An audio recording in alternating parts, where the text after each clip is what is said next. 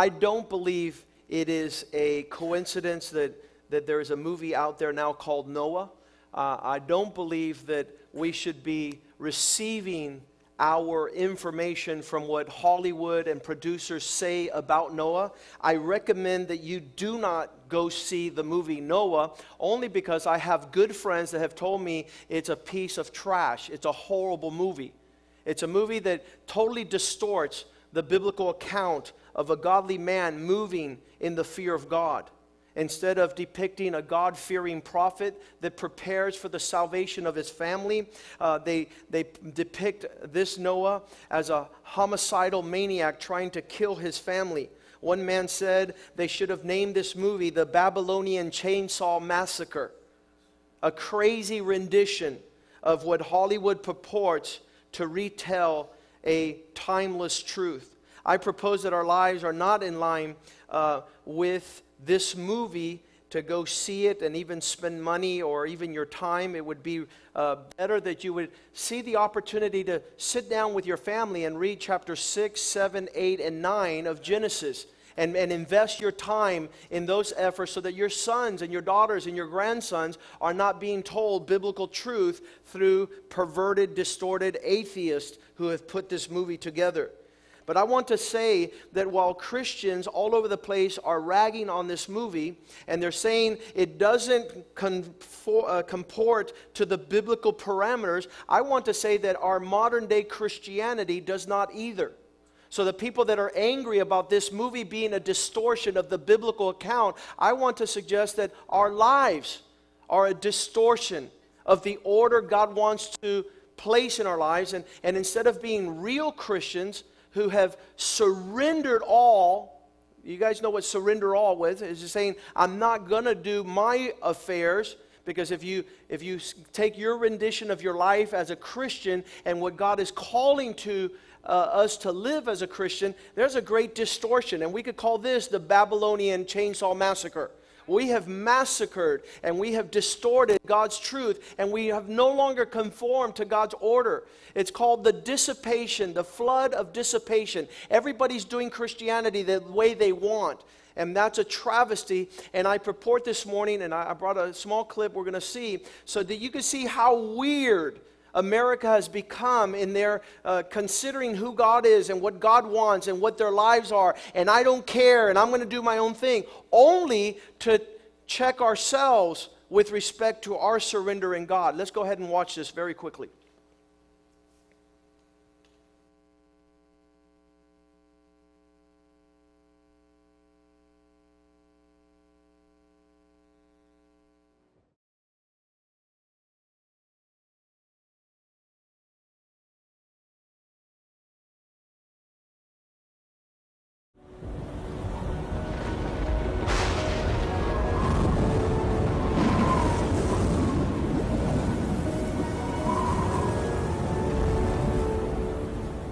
Believe there's a man named Noah, like in the Bible? Well, the Bible, Noah? No, I do not believe he existed. So you don't think he built an ark? No, no. I'm very comfortable with my atheism, but I support myths. You think God sent a flood and drowned the whole world? No. you don't? No. If he had, would it have been fair to do so? Oh, no. Why would he do that? Uh, well, the Bible says because the heart of man was corrupt, his imaginations were continually evil, and there was great wickedness and violence on the earth. Do you think that's justification for wiping out the whole of humanity, except for Noah and his family? No. Noah, born over 2,700 years BC, was a shipbuilder and a prophet of the century. Many think of Noah and the ark as a story from the past, but did you know that according to Jesus, the events surrounding the life of Noah are directly related to you? Jesus said, As in the days of Noah, so shall it be with the coming of the Son of Man. In other words, the things that happened in Noah's day will be similar to the things that are going to happen during the time referred to in the Bible as the end of the age. In a moment, you're going to see clearly that the end of the age is happening now. But of all the signs, the one prevalent thing that happened in Noah's day was that people who knew right from wrong chose to ignore Noah's warning of God's coming judgment. Such is the way of the 21st century. Do you think there was a man named Noah like in the Bible? I did for a long time. I don't right now. Uh, I believe there was a man named Noah. Do you think he built an ark? I'm pretty sure that that's kind of a story. Do you think there was a man named Noah like in the Bible? Ah, there's lots of great stories about it. Do you believe there was a, a man named Noah? Um, I believe at one time there was very likely a man named Noah. Whether or not he was a biblical figure and swallowed by a whale, I, I find it statistically difficult to believe that nobody's been swallowed by a whale before. So It's a lot of animals in a little ark. I mean, you're looking at over a million species out there. I don't find it possible. The boat would have to be like the size of the moon. The scriptures call Noah a preacher of righteousness. His life was prophetic in that the ark was a type of the then coming Christ. And we, like Noah, are preachers of righteousness, warning every man, calling a corrupt world to repentance and faith in Jesus, and telling them to be ready for his coming, of which no man knows the hour nor the day. Do you think we're living in the last days? No. No, I don't think so. People said we were going to die in 2012 and we didn't. I believe the whole world is going to come to an end real quickly here. I honestly couldn't care less about when the last days are coming. It'd be nice if the world ended. It's not my concern whether it's tomorrow or a million years from now. Do you know what the signs are of the end of the world? Uh, I know some of them. Tell me, what are they? Chaos. Okay, I take that back.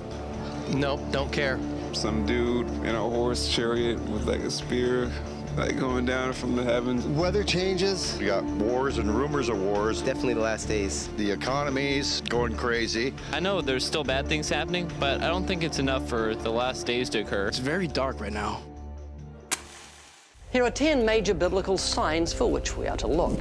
The scriptures tell us there'll be money hungry Bible teachers who would slur the Christian faith and deceive many. By covetousness, they will exploit you with deceptive words. Yeah, name it and claim it, health and wealth. You got it right, baby. You got it right.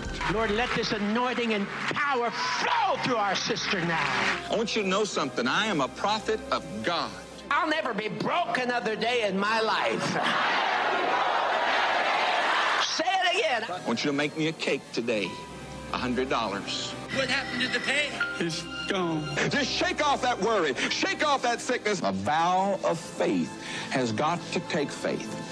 That's why I say a thousand dollars. People like those um, TV ministries and stuff, they're raking in lots of money. They're driving around in nice, fancy cars. They're just bilking people. Taking money from people who follow blindly and profiting from it is something I think is bad. What's the root of all evil? What would you say, Belinda? Money. Money. Think it's money? It's money. Do you think the Bible says that? It does. It doesn't. love of money. That's right. It's the love of money. It's greed that's the root of all evil.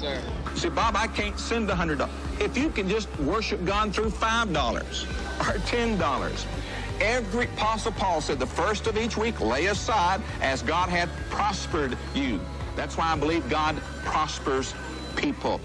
Satan gave me this mess. I mean, it's a lie of the devil. I shouldn't have said that. The second sign we're looking at is found in Matthew chapter 24. And there will be famines, pestilences, and earthquakes in various places. Birthing pains, earthquakes. Giant locusts. Floods, hurricanes. So you're thinking we could be living in what the Bible calls? Yeah. So do you think there should be a judgment day? No, What about hell? I don't believe in hell. Sign number three the moon will become blood red. The sun shall be turned into darkness, and the moon into blood. I'm a skeptic, so you know I like to believe, but I'm also a skeptic that believes also. So um, it could. I mean, you always see the moon change in different colors, obviously. Uh, it, it could turn to red. In just over an hour, the full moon will turn a deep red for most of the planet. Actually, I've seen the, the moon turn red before, and it has worried me. I was like, you know, what is this? What does it mean? Freak you out? It did freak me out. How would you react if you saw the moon was red, blood red tonight? I would be worried. You'd be worried? Yes, I would. Why? Uh, well, I, in my physical condition, I would think, well, goodness gracious, there's something wrong. Um, I think I need to run and hide and get underneath a rock. You may remember about 10 or so years ago, this little girl named Jessica in Florida was abducted by a man. She was seven years old, cute little thing. He sexually molested her and then buried her alive in a plastic bag. They found her clutching to her teddy bear. If you were the judge How would you sentence that man? Oh, I would probably, I would probably sentence him to uh, castration and, yeah, death. Well, that, so you feel strongly about it. I do. So why do you feel like that? Um, well, that's just, that's like the purest form of evil, what do you think? So, in other words, you believe in justice. Um, yeah, I guess so. But I don't believe that we have the right to judge and You just made a judgment. You just made a judgment on an evil act, and I think it was good. It shows you value human life and you care about that little girl. judgment. I'm not without judgment. Yeah, so what I'm saying is that if, if that's true, if you think such evil should be punished so severely, how much more should God punish a murderer or a rapist? Can you see that? Hmm. And God's judgment is a place called hell. That's his, that's his prison, and there's no parole. It's eternal. In the last days, blasphemy will become commonplace. Do you go to R-rated movies? Of course. It's the only kind of movies I watch. Have you been to R-rated movies? I've been to X-rated movies. Have you noticed how they use the name of Jesus in blasphemy in movies? Of course. Why don't they use the name of Muhammad in a movie to oh, cuss? Wow, I don't, I don't talk about religion over interviews. Can you think of anyone in history, a famous person like Napoleon or Shakespeare or Hitler, who had their name used as a cuss word? Can you think of anyone?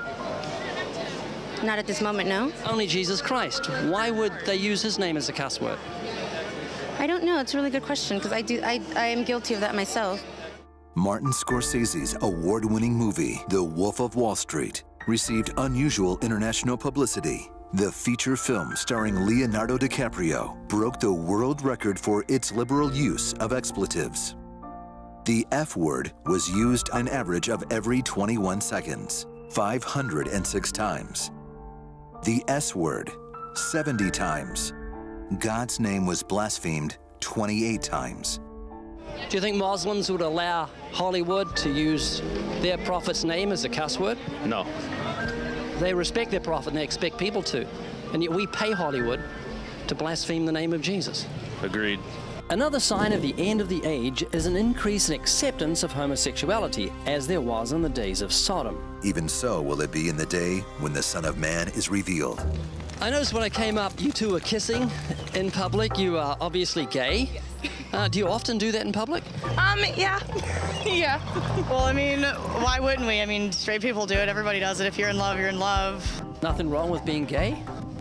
Uh, nah, I mean, you know, as long as they don't push it on other people, you know, people have the choice to, you know, do what they want. In the last days, religious hypocrisy will be prevalent. Their conduct belies the genuineness of their profession. When did you last read your Bibles? This morning. Yeah, yeah, this morning at church. You're born again? Yes. Are you a Christian? Yes, sir. Have you been born again? Yes, sir. Yes, I am. Yes, I am. I am a Christian. Yes, I am Christian. You love the Lord? Yes, sir. You go to R-rated movies? Um, yes, sir. No, I watch them at home. Yes, I do. What about you? Yeah. And you're a Christian? Yes. What about the sex scenes? Does that worry you? Sure. So you shouldn't go to them. Doesn't mean that we shouldn't go. You guys watch couples make love on movie screens in R-rated movies? Where? Well, you don't just go to your ending point on this one. Of course, you watch it. Anybody's gonna watch it. What about you? How do you handle the sex scenes? I, I watch them, but you know. Do they bother you? No. You stay for the sex scene? Well, it's always there, so like, it's uncomfortable at points. You look the other way or do you watch? No, I do watch. Uh, I, I mean, I look at, I don't look the other way, but yeah. This is a little bit personal, but stay with me. A husband and wife are making love in their bedroom, and they notice the curtains pulled back on the bedroom window, and there's a guy peering through the window at them having sex. What should they do? Um, call the police. call the cops. I would tell my wife, girlfriend, or whoever she is at the time to call. Girlfriend? Yes. Making love on the bed? Your girlfriend? You mean wife? Well, wife, you know. No, wife. Yeah, wife. But That's not sex unless you're married. yes, You should know. It's in the Bible. You should know this. I know that. So you having sex outside of marriage? He is. He is. You guys having sex? Yes. So you're Christians? yes. Have you had sex before marriage? Yeah. Yeah, I haven't been married yet, and, you know, I've had tons of it. Are you a Christian? Yeah, I am a Christian, actually. If you're a Christian, You shouldn't support dirty movies. You shouldn't support movies that have blasphemy in them. Does that make sense? Yeah, it makes sense. Hollywood's nothing but a glorified pimp who provides clientele for America, actors who'll take their clothes off and prostitute themselves for money. Do you think I'm right? Yeah, that's true. Actually, when you put it that way, yeah. Watching people have sex. Yes. You look at a big window called a screen, he looks through a real window, but what's the difference between you and the guy who's peering through the window? You're trying to justify watching dirty movies, is that what you're telling me? Yeah. Bottom line, you shouldn't be doing that, but I do it anyway. What's the difference between you looking through a window we call a screen and the guy looking through the window at people? The same thing. What's the difference between you and him? I guess nothing. Yeah, there is. You're paying for yours. Should a Christian support and pay Hollywood to do that? We shouldn't. You're paying them to do so. No, I pirate all my stuff. Steal it? No, thou shalt not steal. What do you mean pirate? I don't pay for it. Isn't that stealing? Pirating? Yes. Do you ever ask what God thinks as you're sitting there watch couples make love? No. Remember Jesus said if you look at a woman and lust for her, you commit adultery with her in your heart. That's how high God's standards are. Am I making you think? Yeah, you are. What about you? You're going to keep going to dirty movies and call yourself a Christian? No. So you're going to go to dirty movies from now on? Depends if the movie's good, I'll go watch it. I'm gonna go to church right now, so I definitely repent again. Are you going to keep going to dirty movies as a Christian? Oh no, so no, not after that. You serious? yeah, I'm serious. Yeah, We're talking about your salvation. You don't want to play the hypocrite. Yeah. Does it make sense what I'm saying? Yeah, it makes sense. After this talk, I see the point. You know, it really, I have to step it up in my faith and what I believe in, and I should really stop. The Bible claims that in the last days, people will deny that God created the heavens and that he judged the world through Noah's flood. Okay, so you're an atheist, so you believe that nothing created everything, which is scientifically impossible. Well, I believe that we came from a black hole, yes. Do you believe there was a worldwide catastrophic flood? No, I do not. 70% of the earth is covered in water. Where did it come from? That's a good question. That's, Do you know? I have no clue at all. How did the uh, water come here? You mean from the original Earth when it was formed? Well, they, they, they the scientists uh, projected it possibly from um, comets. What's your credentials?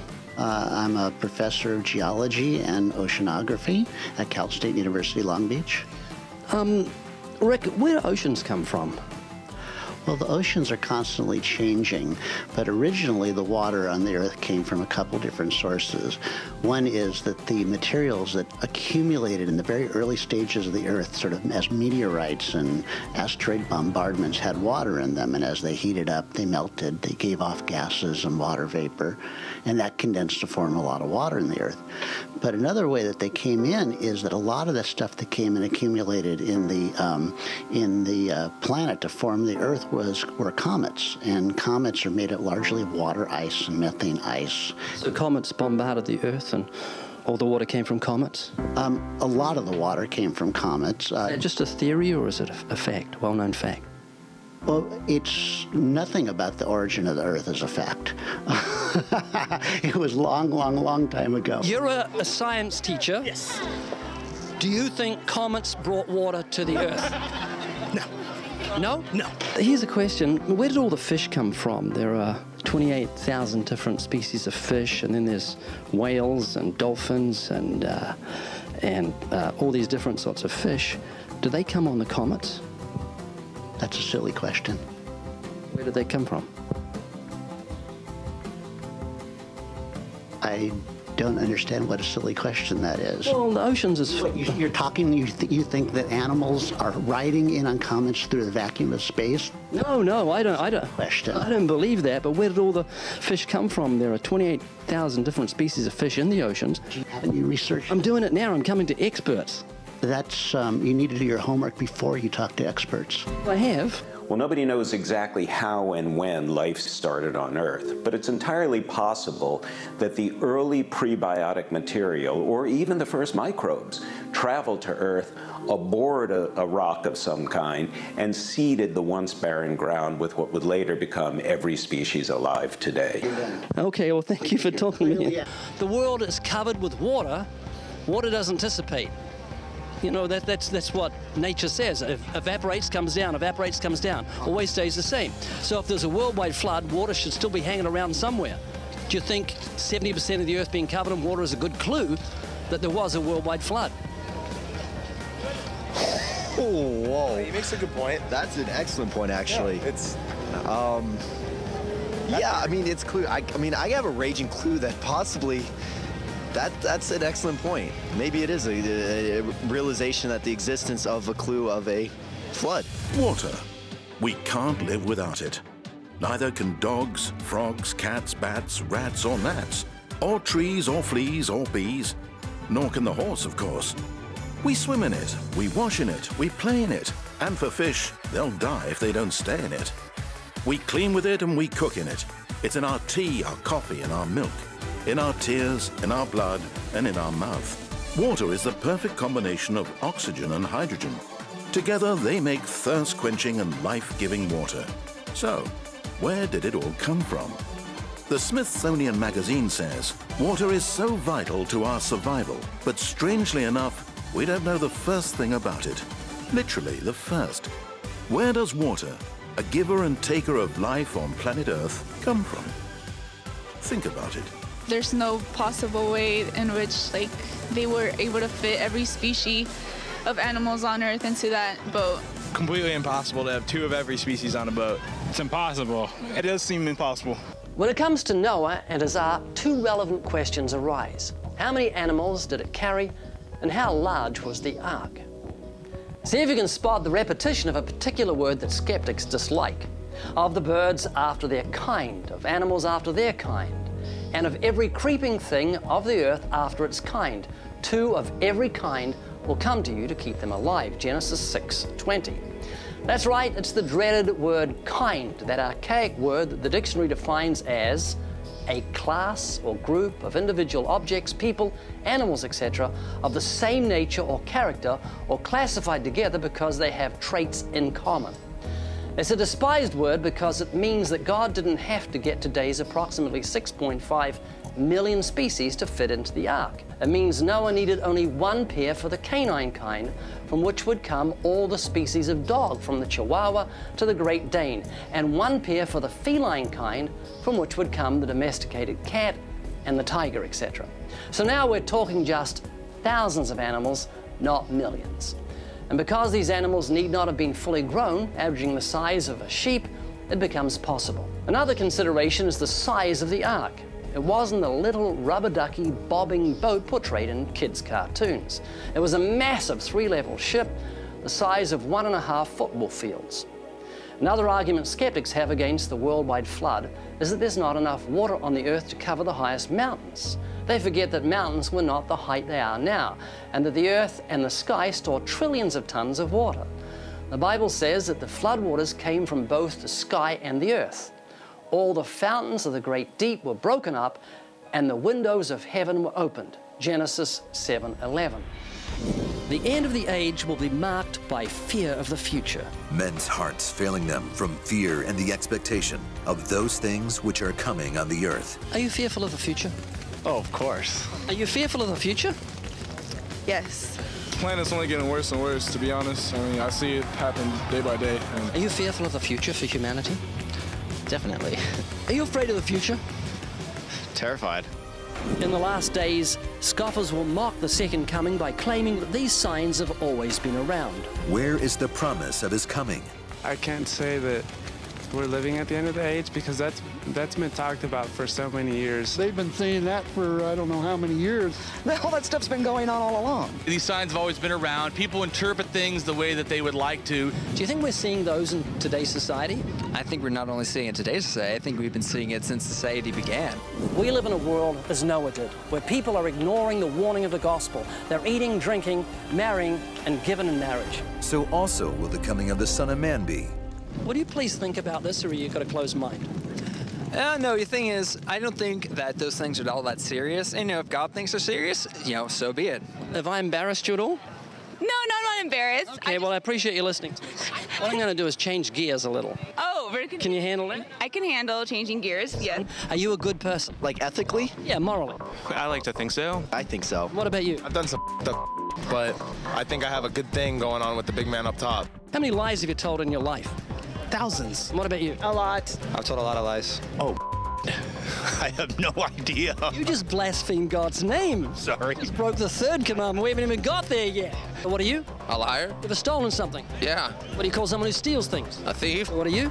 I'm evidently a thief and a liar. Have you ever looked at a woman with lust? Oh, yes. All the time. More than 10 times a day. I'm not judging you guys. No, wait a second. But by your own admission, you're lying thieves, blasphemers, and adulterers at heart. I can enjoy my life however the f- I decide to, and that's what I choose to do. Have you ever used God's name in vain? Yeah, unfortunately, yeah. Yes, I have. Yeah, that's one of my favorite phrases, and I always use it. It's called blasphemy to use God's name as a cuss word. It's very serious in his eyes. I don't think this will help either. What's that? I don't think that will help anymore either. That's a uh, sign of the devil. I've done all the things that God tells me not to do. So I'm not judging you guys, but by your own admission, you both said you're lying, thieving, blasphemous, adulterous at heart. And you have to face God on Judgment Day. If He judges you by the Ten Commandments, you're going to be innocent or guilty. Oh, dude, I broke like nine of ten. Yeah, and what about you? I plead the fifth. Are you going to be innocent or guilty? Uh, very likely guilty. Heaven or hell?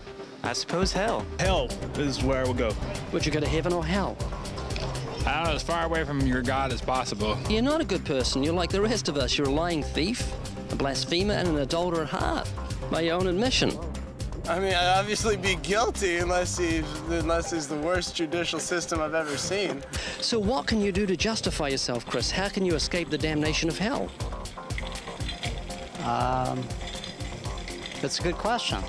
It's a good question. I, I don't know. I don't know if I have an answer to that question. I believe that God is so loving. I don't believe he would send someone to hell. So Hitler's got a little mansion in heaven. Six million Jews, men, women, and children mean nothing to God. So you believe in justice because you're made in the image of God. You're not like an animal, a cat, or a dog. Dogs don't care about justice and truth and retribution. Each year we spend trillions of dollars worldwide to see that justice is done, and that's because we're unique in creation. We're moral beings made in the image of God. Would you agree with that? Mm, yeah. I believe that the good I've done outweighs the bad I've done. Try that in a court of law. It doesn't work. If you've raped a woman and say, Judge, I give money to charities, he's not even going to take that into account. He's only going to take your crime into account. It's exactly the same with God. Doesn't matter how much good you do, it's not going to wash away your sins. Man, we're talking about your eternal salvation, where you're going to spend eternity. You're like a little kid who's holding a stick of dynamite and it's sparkling and he loves the sparkle. And I'm saying, toss it from you, toss it from you.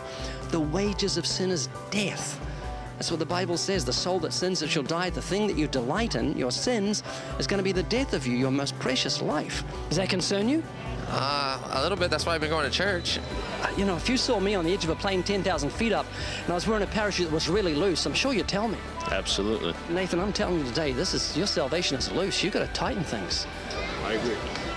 There is one God. He's morally perfect and holy and just, and He's going to judge the world in righteousness on the day of judgment. And you and I both need a Savior, someone who can wash away our sins. Now, do you know what God did for guilty sinners so they wouldn't have to go to hell? Gave his only begotten son, right? You need God's forgiveness, and God offers it through what Jesus did on the cross. Do you understand the legal implications of that? The legal implications. No, explain them. Well, the Bible says God is a judge. He's perfect and holy. You and I are criminals. We're sinners. We've violated His law, the Ten Commandments. We're heading for a place called hell, God's prison, without parole. But 2,000 years ago, Jesus stepped in and paid our fine in full. You and I broke God's law. Jesus paid our fine. That means God can legally dismiss your case. He can commute your death sentence and let you live forever because your fine was paid by another. You know, if you're in a court of law and you're guilty and someone pays your fine, the judge will say, Fine's paid, you're out of here. And that's what God can say of your crimes against His law. He can forgive you and He can let you live because of the suffering, death, and the resurrection of Jesus Christ.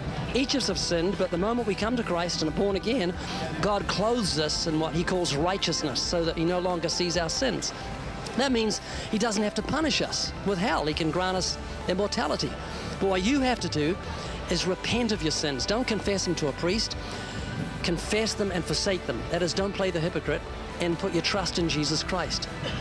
The moment you do that, God will remit your sins, grant you everlasting life, and He'll give you a new heart with new desires, so you long to do the things that please Him and not the things of your own sinful desires. Does that make sense? That makes sense. Yeah. Yeah, it does actually.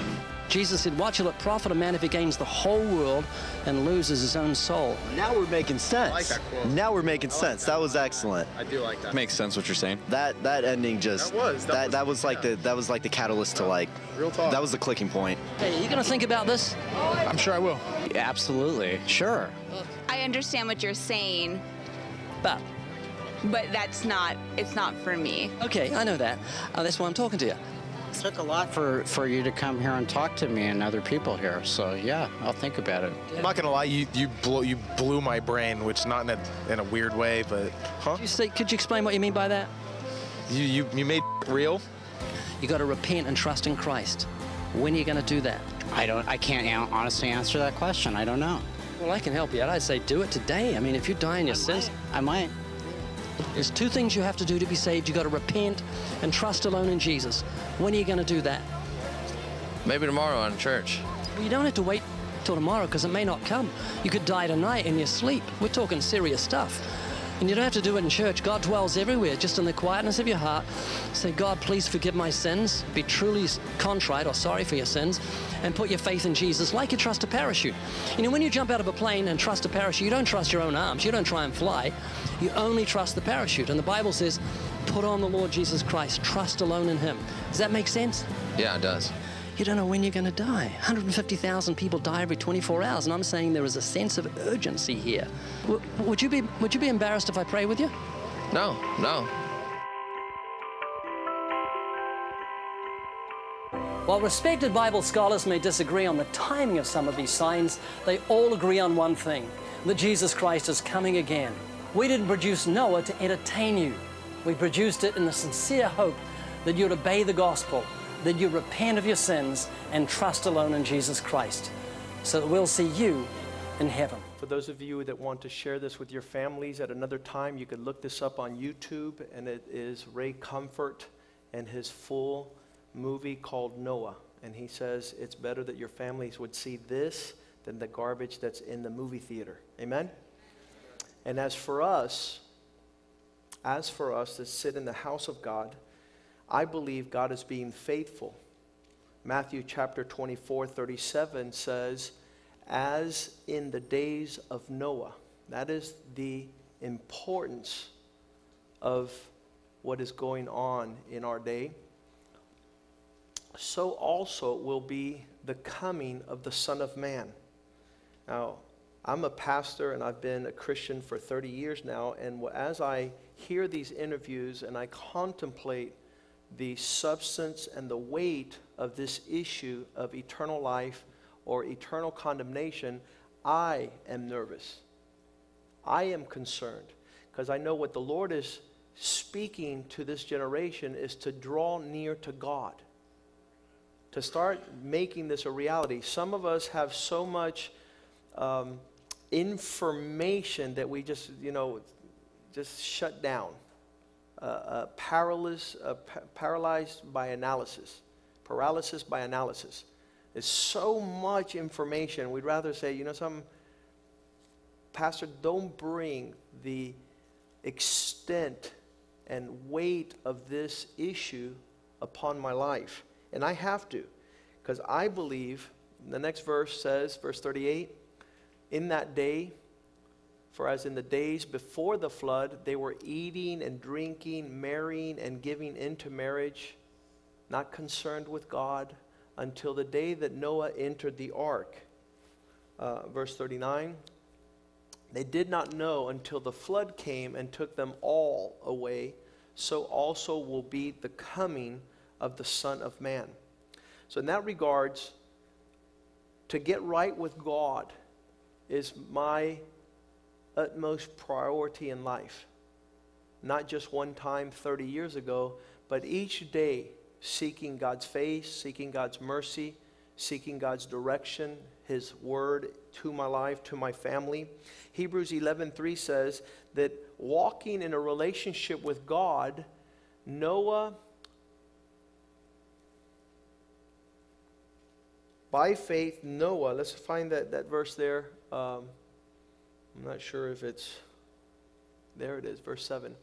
It's by this relationship with God, by faith, Noah was divinely, God warned of the things that were yet not seen. He moved. He began to gravitate in the direction, move with godly fear, preparing an ark for the saving of his family. Um, and this act condemned the whole world. He acted in a way to listen to what God was instructing. I believe each one of us must move in the direction of being right with God. The word that I've come to in this regard is called surrender. There's a lot of reasons why a lot of people in Noah's days did not listen to the warnings and move in the direction of God's salvation. But Noah and his family were saved, the Bible says. Genesis 7 16 says, Every male and female of the animals, those that entered, male and female, all flesh went in as God had commanded him, and the Lord shut the door. So there was people inside the provision of God and there were people outside the provision of God. The question this morning is you. Not a commentary on this movie, but an opportunity to begin to figure out why we can't surrender, why we're so overwhelmed with other matters that we should be found outside of this provision. God has given us instruction in Genesis 6 14 and 15. This is how you're to build. Make yourself this ark of gopher wood, make rooms in the ark, and cover it outside with pitch. Verse 15. And this is how you shall make it. How many know that God is being faithful and instructing us this morning? That, that you know, we're to really forget about Hollywood, forget about the majority of the people in this film that are being interviewed, knowing to do the right thing, have chosen to walk contrary the fear of God and the concerning getting prepared. We must move in this direction. This man, Noah, was so powerfully moved in that direction that he saved his wife, his three sons, and their wives. But the Bible says in 2 Peter chapter 3 verse 3 that in the last days people will make fun according to their own lust. Everybody's pursuing other things, serving other things, other priorities, making other things their, their, um, their responsibility and trust and care in this life. Forgetting, verse 5 says, they deliberately put out of mind, they willfully forget that the Word of God of old was destroyed through water. And in that forgetting, the Bible says, now that we remember, verse 14, how looking forward to these things. How many are looking forward to the fact that God says what's going to happen and it's going to take place like in the days of Noah? There's going to be people saved, prepared, fear of God, their sons, their, their, their uh, daughter in laws, they're all going to be in God's provision. Uh, looking forward to these things, we want to be diligently found by Him in peace without distortion. Verse 17. What lives, therefore, beloved, since you know this beforehand, how many, thank God, we got the game plan, right? God has laid it out for us. Nobody's confused, nobody is, is, is missing out on being told. Be concerned lest you fall. Since you know this beforehand, beware that you fall away in the error of the wicked. Verse 18 Grow in your relationship, in the knowledge of Christ. And, and so this morning, I asked the musicians to come forward, the worship team. And, and all my responsibility is this morning is to say, Church, let's get right with God. Let's surrender and be known as righteous through the merits of Christ and his provision on the cross. Come to accounts with him, surrender. I don't, I don't know what's keeping you from surrendering. There is no greater motivation and inspiration to be living like Noah was living in his time. I want to finish with Psalm 37, verse 7. It says, Surrender to the Lord and see these things patiently. Surrender in the Lord and wait on these things patiently. Do not see other people involved in other things and be concerned about their prosperity. Because the man who brings wicked schemes to pass, verse 9 says, all of a sudden, evildoers shall be cut off, but those who wait upon the Lord shall inherit the provisions that he has for us. Let's stand this morning and and I pray that the Spirit of the Lord would lead you carefully, intentionally, willfully, not to forget, not to postpone, not to put away the seriousness of this matter, but to intentionally and purposely surrender to God. And, and that is, um, I, was, I was reading 1 Peter chapter 2, verse 2.